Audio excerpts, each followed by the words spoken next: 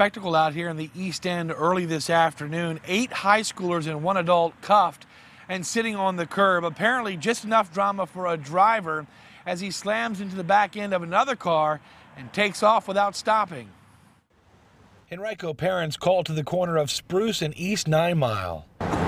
Some visibly upset with their teens who were charged with breaking into an abandoned home. Police everywhere, and they were focused on this corner house, you know, to the left of me. Police weren't the only ones focused on that house. Yeah. So was a driver looking on, slamming into the back of a car, then taking off. Hit and run. Crime Insider sources say after a brief pursuit, police catch the driver at a dead end on nearby North Quince Avenue. Those same sources telling me the driver had two guns he stashed in a drain pipe and drugs.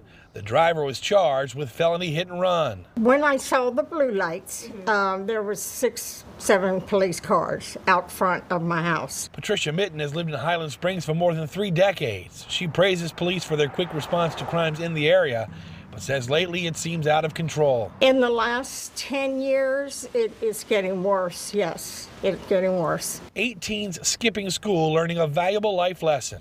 All of them released to their parents, all of them charged with juvenile petitions, where they will learn their fate in court. It surprises me, yes, it does.